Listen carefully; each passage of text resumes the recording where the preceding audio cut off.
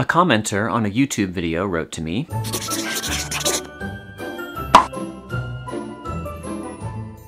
I'd be interested in your thoughts on the New American Standard Bible star feature in the New Testament indicating the present tense. Did you ever notice this little asterisk in your New American Standard Bible? This is what the NASB says it's doing. A star are, sick, used to mark verbs that are historical presents in the Greek which have been translated with an English past tense in order to conform to modern usage. For example, instead of they go into Galilee, which is a literal translation of the Greek, the New American Standard will have they went into Galilee, which is more natural in contemporary English. This is the NASB being fastidious.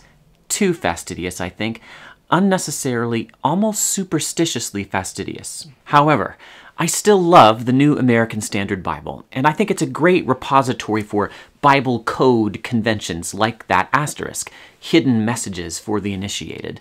The New American Standard capitalizes deity pronouns. It uses small caps for Old Testament quotations and instances of Lord when it translates the Hebrew Yahweh, and it bolds the verse numbers at beginnings of paragraphs.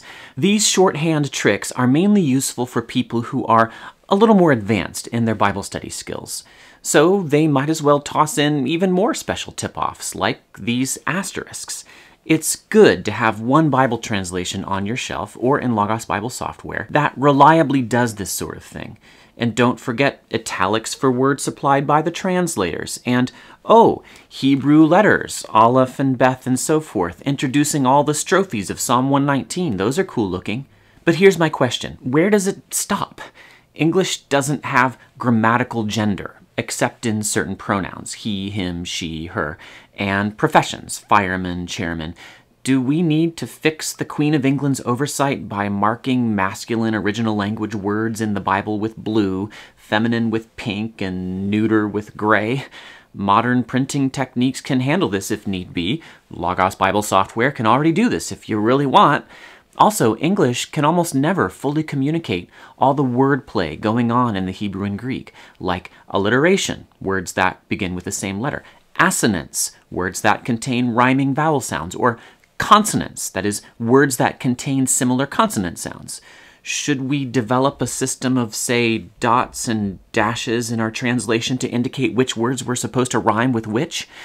English doesn't specify whether who and whom are plural or singular but Greek does. Should we put double underlines beneath plural relative pronouns and single underlines under singular ones? At some point, you just have to acknowledge that translation between two languages always carries limitations. God set it up this way at Babel.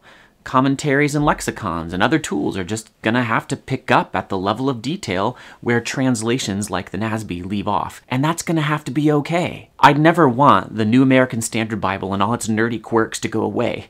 They were helpful to me before I could really access commentaries and lexicons. But I don't like it when Christians get the idea that other translations without these frankly odd and not strictly necessary conventions are hiding something, or are less faithful, or are less accurate. Oh, those poor benighted Christians who don't know that this verb is actually a historical present. God gave us a world in which no one language perfectly maps onto another which is the biggest reason why Christian angst over which translation is best is unnecessary and even divisive. I feel like I say this all the time, maybe too much. So in the future, when I need to repeat that all translation requires compromises and we can all chill regarding this fact, I'm just going to use this symbol. Can you remember that? Thanks.